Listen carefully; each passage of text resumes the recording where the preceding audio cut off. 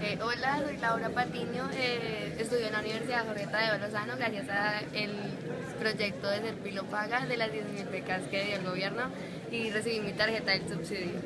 ¿Y cómo te ha ido? ¿Te han cumplido? Cuéntanos. Eh, sí, muy bien, todo ha sido muy bien, eh, toda la información ha llegado a tiempo en el correo, pues nos han dicho todo lo que, pues, los pasos a seguir en, cada proceso de, selección y pues de, de lograr la beca. ¿Ya recibiste tu tarjeta?